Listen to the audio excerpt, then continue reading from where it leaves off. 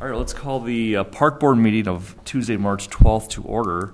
And we'll start with the consideration of the Park Board minutes from our February 5th meeting. Is there a motion to approve? So moved. A second. And a second, any discussion, changes? Hearing none, all in favor say aye. Aye. Aye, opposed? The minutes are passed. Uh, Item three is request to use Picnic Point in Lakefront Park for the Great River Rumble event on August 1st of this year. Mr. Pete Kuhn is here, if you'd like to come up to the microphone and tell us about your event and um, what you would like uh, from us today. Um, Hello, my name's Pete Kuhn, and uh, I've been designated the landing chair for uh, hopefully the city of uh, Hudson, Wisconsin, where we'd like to uh, land for a night and uh, camp and uh, enjoy your city for the evening of August 1st and the early part of the morning of August 2nd. Um, our group is it's a once a year trip, uh, canoe and kayak, all paddle boat or uh, paddle craft, uh, except for usually three to four power boats, which are along the edges of the flotilla for safety purposes and so on. Um, and uh, this year, we're doing part of the St. Croix River and finishing up on the Mississippi. And this will be our fourth day, I believe, or fifth, yeah, fourth day, Thursday night stop. And what I would like to do is uh, get an okay to uh, use the camping area uh, in the, uh, what is it, the Park Point or Yeah, South Lakefront, we call it Picnic Point. Okay, Picnic Point, and a little bit north of the uh, Hudson Boat Launch uh, for some overflow camping if needed. And uh, I believe Deb already had a map out, but I've also got another map. Yeah, and I'm sorry I didn't include that. It was kind of our map that we used Okay, last I can, I can just give this map. Okay. Pass that around. It'd be in the same areas uh, that were used previously by uh, a group, I guess, that came through a couple of years ago. Um, Our group is a nonprofit organization, and uh, what we'd like to do is, uh, since the downtown area is very close to where we would like to camp and set up, uh, would be using all the local uh, restaurants and establishments for dinner that night. And in the morning, uh, we usually do breakfasts. Try to have those going by 6:30 because we like to try to be onto the water. Uh, as you've seen on the flyer, our next day, uh, coming uh, from Stillwater, that'll be our shortest day on the trip of about seven miles. But the next day will be around 18 miles. Uh, so it's you know, an older group. I guess the average age is right around 50 years old. Uh, I've been paddling with this group for this will be my 16th year now, I believe. Uh, I'm also an ACA Level 4 certified instructor, uh, wilderness first responder, and uh, part time guide in the Apostle Islands. So I take uh, care of some of the first aid items that come up. We usually have several wilderness first aid responders and try to make sure everything runs smoothly. Great. Well, it sounds like an- a great event. Is there uh, any questions for Pete? No, it sounds like a great event. How, how many people or boats do you, and I know that registration still has to happen, Uh, we just a ballpark. ballpark, I'm going to say anywhere from 100 to 130 people, and uh, about three to four power boats, and maybe eight vehicles. Because what we'll do is uh, we leave, or we, uh, the starting Saturday, we meet at the finish, which I believe is, uh, I'm sorry, what is that again? Uh, Red Wing. Red Wing? Red Wing. Uh, So the cars will be parked in a secure area there. Uh, Current Designs is one of our sponsors, and they help shuttle all the boats to the beginning. And then we usually get a couple of uh, passenger buses to get everyone up to the start. So we will also have one medium-size uh, rider or U-Haul truck that'll haul everybody's gear. And uh, we'll have a small crew of about eight to 10 uh, cars slash trucks, probably with two small uh, kayak or canoe trailers. So we shouldn't be using up a whole lot of parking area. Are there any uh, costs or permit fees that are needed for uh, Pete's group? No? So it was two years ago you guys used the park? Or- That was No, a that was- different that was another group group. that used Oh, that. another group, okay.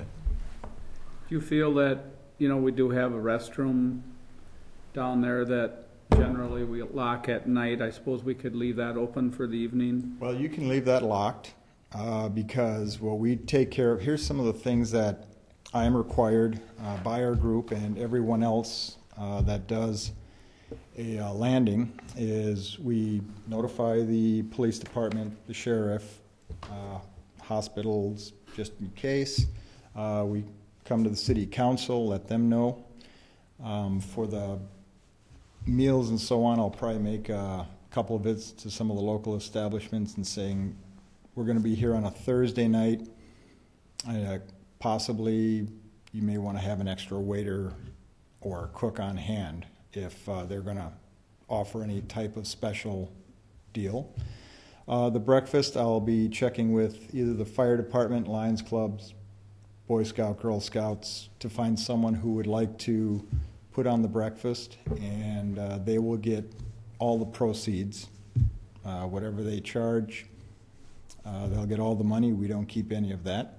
And we also, so that we don't overuse any local facilities, uh, we will have six porta pots brought in, uh, hopefully by noon on the day that we should arrive, and they should be picked up at- on noon on the day that we leave. Sounds really well organized. Well, it's, Yeah, it it's good sounds, to hear. it sounds to me like a group that is enjoying the river, doesn't want to be a burden Right. Any more than they have to be, so I think it's, sounds like a great thing. Well, do we have a motion on the floor? I'll move to approve. I'll second that. And then we have a second. Is there any further discussion? Hearing none, all in favor, say aye. Aye. Opposed? Recommendation is to, uh, to approve the event. So thank you very much for Thank coming you. Today. we'll go to Have fun. safety. You go to safety? I uh, believe I'm supposed to go to a safety meeting on Thursday Thursday. at six o'clock. mhm. Okay, So they'll excellent. approve it for the So, security part. All right, thank you. Moving on to item four and item five are, are related. Item four is to review the cost to re- relocate the picnic shelter from the Tourist Information Center to Prospect, Prospect Park. And item five is review the cost to relocate the storage shed from the old Tourist Information Center site to Grandview Park. So Tom, do you want to, um, Just take a those up- two items there? Just a little update on that. Uh, The photos, the, that you have in front kind of are the proposed areas that we're considering for both, um, the, uh, picnic shelter. Uh, we propose to have it up at the start of the trail system at Prospect Park. Um, Isn't, isn't there like a slab where that's sort of located? There was up an there now? old, an old, um, Sport type of corner. a screen shelter up there Yeah, that that's what it has was. been uh, taken down. I think there's still some of the uh, cement slab up there, so Okay, close to that area. Okay. Um, The owner of the, um, the per- uh, that purchased the uh, tourist information area as part of the excavating, said that they would actually move the um, shelter for, at no cost to the city. So uh, getting it from the Tourist Information Center to Prospect Park will not cost us anything, or will the shelter cost us anything? Good. Uh, Once it's there, we'll have to, I think we can do it in-house, is install the structure and pour a slab around it like we did out at uh, the Meadows Park. Um, actually, Gary Zappa did that. I've spoken with him and kind of got the lowdown how he did that. So that's something we would do in-house. Uh, I would imagine, you know, we may have thousand dollars in concrete or, you know, and then plus the labor. So a very inexpensive uh, shelter, and I think it's a well-constructed shelter, so Mhm. I think the price is really uh, right, and um, maybe, I mean, I don't know if you want to discuss other possible locations, that's something we had just talked about earlier, but maybe there's uh, some other areas that you feel would be a better spot for that. Um, I, I feel that you know the parks as well as anyone. It's just kind of a good spot there. I think we need a little uh, structure. It'd be nice to have a structure there um, right at the start of the trailhead. I mean, we worked hard on the trails. Now it'd be nice to have some uh, informational signs right there, and when the people could kind of start and stop there. So, Well, what's nice about that spot too is there's a couple of picnic tables kind of around there, and, And, it'd be uh, nice to have a spot where they'll have a little shelter up on that part of the.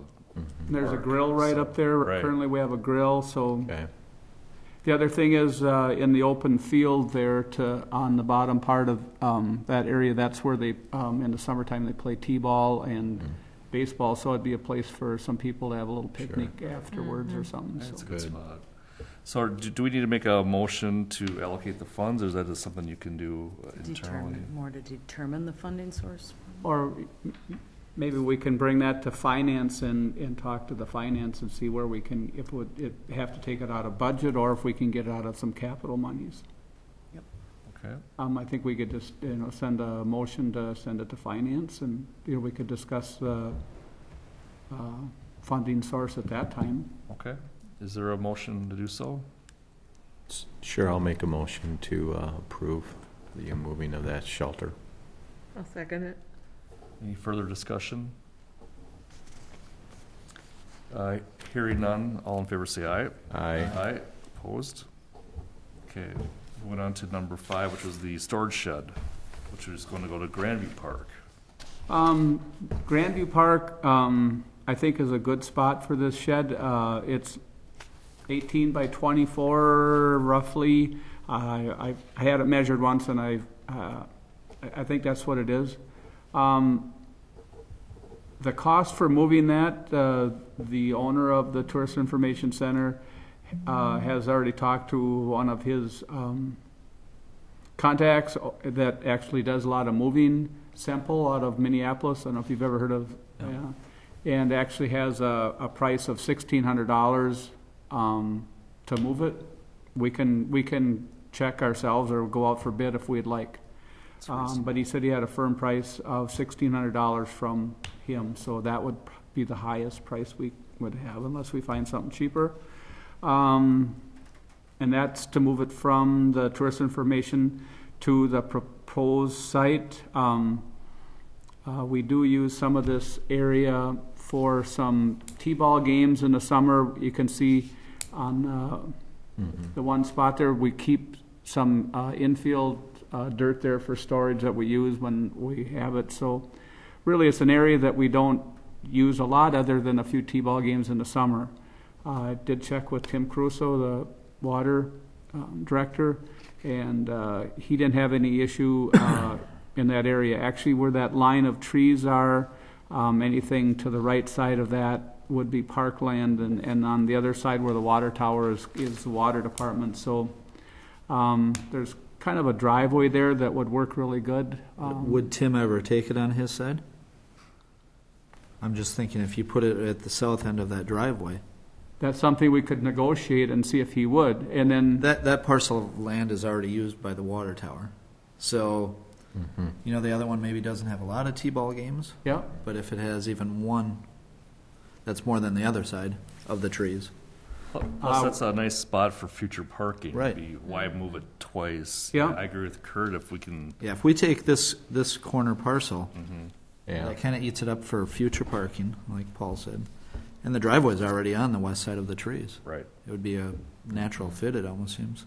I can certainly check with him and, and uh, bring it back to the next meeting and see if we can have it, um, uh, see if they would approve it on their side. What is the developer's timeline? I, I've thought I've heard kind of a crunch on that. He said that as soon as we could get the slab um, ready, he would like to move it out of there as soon as possible. Well, I, I guess I, I don't want to hold, hold down the timeline, but maybe we could recommend that we go ahead with this, but we'd like to see it, see a negotiation or a contact with the water department to see I, if I we would, can- I, I think regardless, Yes, Yeah. just, it's gonna get recommend, I mean, we have to vote, obviously, but I, I'd personally be for it either way. I would just rather see it on the west side of those trees. sure. Yep. Tom, what would y'all be storing up there? Well, first off, um, we have to bring, uh, you know, the four-wheeler and the drag, the drag stays up there, but the four-wheeler every day, you know, and we, I would say that that would be the biggest thing is just some of the equipment that we use for the field maintenance, Okay. um, at this time. Uh, We always need storage, so, um, Okay. it'll get filled up pretty fast. Uh, other costs would be the cost for moving it, of course, um, and then we'd have to pour a, a, you know, a concrete slab. They're probably looking at maybe about three thousand dollars total. I would say yes, and. that's a Do you have any issues with security once it's up there, Tom? Is it a pretty secure building, or? It has a service door, it's just like a garage, it has a service Okay. door and a garage door. Okay, Uh, you know, there are lights in the parking lot, you know, there's lights in the area of the water tower. Um, I guess it would be s- as secure as anything, you know. what's, what's a new building like that worth? Any idea? Five, six thousand dollars, I would, Okay. would imagine. Right, But then you'd have the slab on that too. so- sure, Mhm. okay. Yeah, I know you've talked about getting more storage up there, so this is kind of a godsend the way it sounds. So that's good. It is. Is there a, a motion to move this forward with the uh, direction to negotiate or to try and get permission to put it on the other side of the trees? Do you want to go with the num, the, the pro- moving provider that's been discussed, or do you want, do we want? I can certainly check into that, you know, and see if we can, you know, I can contact some other movers. Uh, I just know that, uh, this is the one that he used and he said he does a lot of this and he said this is the best and the cheapest, so. But Good. I'll be glad to try to, um, get some other quotes. Well, how about a mo, I'll make a motion to approve, uh, accepting the building with the location to be determined.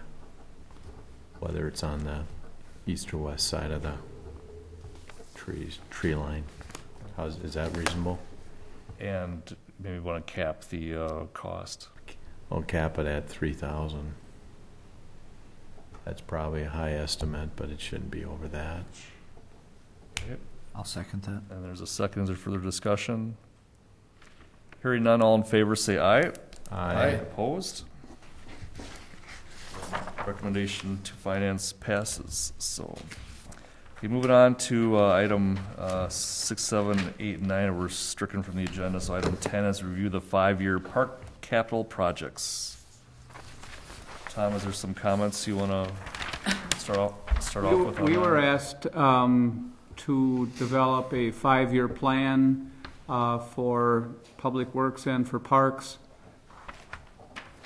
These are just suggestions or requests uh, based on some of the needs and uh, items that we have talked about in the past. You look underneath, uh, for 2013, and again, let me emphasize that these are just uh, requests and have not been approved. Uh, So I haven't heard, they haven't made any decisions for 2013. Uh, Grandview Park has several things, uh, infill improvements, the storage shed I had down at 10 at that time, but uh, that, that'll be, can be reduced to three. Uh, Mill and overlay of the parking lot is in need of um, repair, it's getting uh, in bad shape. Um, Trail improvements, uh, Burton Field, we moved down to Burton Field where the, the, some big numbers are. Uh, We'd like to still get the site grading and finalized and uh, that taken care of if we could and possibly start um, phase two. That's gonna be a hurdle. Moving on to Prospect Park, we have some monies, you know, requested for the roof, roof repairs for the big pavilion, some more, um, trail improvements, and that trail improvement is, uh, the walking trail, uh, we, uh, did some repairs a couple, two years ago. We put, um, some gravel around it, and it was just dirt and grass. Uh, It would be nice possibly to get an asphalt trail on there, a little more permanent. And then also, we have a lot of issues from the restroom in the lower parking lot up to the pavilion, the main pavilion. Currently, we have gravel and some infield dirt, and every time it rains, it washes down. Uh, And it's hard for people that have wheelchairs or, you know, or disabilities to get up to there. So we would like to possibly get some trail improvements. Uh, That's what we talk about there. Lakefront Park, uh, Dyke Road is in need of some riprapping, especially in the area of the courtesy docks. Uh, We should probably look at uh, Walnut Street Bridge inspection. Um, Shade structures, at the time, there was five other uh, shelters up at the Tourist Information Center. We're considering moving. Uh, Those are not able to be removed, so I would scratch that from that line item. Uh, Precast boat launch. Uh, I'd like to get one more piece of uh, precast um, concrete for that. We still keep, have people backing their boats down the uh, power launch or power load. Uh, They have big ruts. We have to go in a couple times a year and bring the dirt back because of the big ruts. And then people damage their boats and trailers, so uh, that's what, what that is for. Uh, Moving down to Lake Mallalieu, Corky's Pier is another concrete slab, same issue down there. And Anderson Parks, we need some backboards for that. So that would be the- our request for 2013, and just uh, maybe the, you know, the park board has more ideas um, other than these. I think it was things that we should be looking at, so. Did you talk to the DNR and the Army Corps when you had your meeting about the Dyke Road riprap? And if they're gonna help out or to give, say it's no big deal, go ahead, but we're not gonna I- pay for it, or what would they say? They said wh- whatever we do, we have to go, you know, and get a permit, but if it's easier to get a maintenance permit if we go that route, you know, we're trying to maintain instead Right. of, you know, change things a lot, so they said if we go at it, you know, try to work with the maintenance permit. Do they help out with the cost on that, or is that all our own cost? I can certainly check. Okay. Okay. And then, just looking at the funds on the back page, or the reverse page, of, uh, other side of the paper here. Uh, Unfortunately, a lot of our projects are all on the north side of the highway, not the south side, um, where we have our larger trust fund. Yeah, it's Um, unfortunate. Well, and We do can need to look talk about at, that too. we do need to look at using those um, funds at some point because they are, uh, they do have a time restriction on them, given that they're impact fee fund, impact fees. So um, we should, I mean, this is not for this per se, but we should look at what's next for Camp Park and look at uh, that as a, as a project for this year or next year, within the next two years. Um, I don't think that's necessarily for capital uh, budget requests, but we should look Yeah, at. we have, we still have to put it on here, because Do we? what, he yeah, Okay. because he did say that he'll just, he'll identify some of the funding options or sources once we get the list kind of in order. I mean, I know we want to focus on s- um, these, other- some of these other projects, but we should be looking at what's next for White Camp, and maybe it's not this year, maybe it's next year that we do that, but we should still uh, identify those couple, next couple of projects out there. So. Any questions on the, Well, actually, as far as White Camp, Tom, do we, do we need any more trails up there, or? Sure, I mean, we could certainly, maybe we should, uh, you know, re- visit the, you know, the conceptual plan and look at that and see what, you know, where we want to go with everything, and see if there's any other structures or more benches along these trails and things like that. But absolutely, we, we have a lot of area to work with, and, Mhm. uh, gosh, the people that go up there, I mean, they love those trails up there, and, and it's such a view, and I think even up by the water tower and, uh, up in that area, we could certainly make more trails. Is there a lot of sledding going on up there in the winter? Are kids sledding up there? Yep, Okay, yep. good.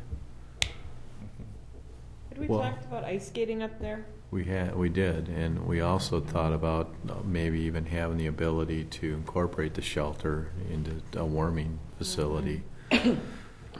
So, yeah, if that, you know, it's, that's a good way to use up some money pretty quick. Well, let's look at that uh, conceptual plan next month. Good And, idea. uh, We can identify uh, the next phase out there that we want to tackle. So, but obviously, you know, we do have a lot on the plate here, and I guess we'll have to see with the city council, um, if they will uh, appropriate some of these funds for uh, a couple of these projects, then we'll go from, we'll have to go from there at that point, once we have some funding identified. Paul, you mentioned that, you know, the funds that are in that trust fund B, what is the limitation of the time? Do you know, Deb, or? And then do we have any flexibility at all to use that in some of the other parks? Uh, my understanding it's gotta be just south of ninety-four, um, so that, that would be Meadows Park and Anderson Okay. Park and Whitecamp Park. Uh, um, the timeline, I'm not sure, I, I think we're, we might be in decent shape because that amount of money seems to be about the same. So and obviously where, where we have growth is that part of the Right. city. Um, so, um, I, we'll have to talk to Neil about that and find out what kind of a timeline we're on. Um, I'm sure we have, s- we have uh, some time, but we just need to be cognizant of the fact that, that both, uh, trust fund A and B have some restrictions to them. There's only, there's just shy of fifteen thousand in the, uh, trust fund A, which could be easily used for, Yeah. um, some of these other projects here. Tom, can I ask you a question? How, how would you feel about skating up, up there versus at, at Burton right now, you know, up at White Camp? What's your thoughts on that? Having skating up at White Camp, Have, a- have them in both locations? hmm, maybe in either or in this scenario, I don't know. I mean, that goes against the grain with what we, what we planned on Burton, but, I mean, the money's available to do, do it right up there, right now. Um, I think if, if you took the one out of Burton, I think you'd have a lot of unhappy people. I mean, Burton Field's is kind of a neighborhood park and, I know. uh, um, although if you had another one up there, I think, you know, I don't know how it, would it certainly could be a trial run or uh, see how it was being used. It- It's certainly gonna add to the, there's gonna be some labor involved because it takes a while to Right. build up the rinks and, um, I think what- maintenance on them. Let's discuss that next month. Yeah, what you're getting at though is that we had the money to- to probably convert that shelter into the warming house that we kind of planned on, so, Mhm. For a sliding hill and a skating rink. right. You bet. Thing of it is, if We've we got the have room an up area there. at White Camp Park that's leveler than Burton Field, I mean, if you ever look down at Burton Field, we have to, it's such a great, you know, slope on the field itself, we have to build this much ice up before it levels off. So I mean, if you had a fairly flat graded area, you know, you could have ice in probably short time. I mean, um, Also, what's- what's nice about, oh, I'm sorry, Ron, go ahead. well, I'm just saying, I mean, I think one of your comments was, you know, I don't know if you said tough sledding, but, you know, to get the funding to do what we want to do at Burton, you know, but it may not happen, so, May take some time. It's gonna Right. be- We have to be creative, and I don't know if there's grants that we should be looking at, or donations, or, Well, it's nice too that as, when the time comes to redo Burton, we, we may lose a season of, of, uh, the hockey, or ice, ice rink or the skating rink, so if we have, if we have White Camp going, then we've got at least, uh, another facility where people can skate, cause it, true. Because the skating rink is used a lot, so. this sure it was, we had a really good year this year. Yeah, Right. normal winter. Right, so, uh, But yeah, let's put that on the agenda for next month and, and uh, talk about that. Is there anything else on the uh, budget request that you see, What- any questions?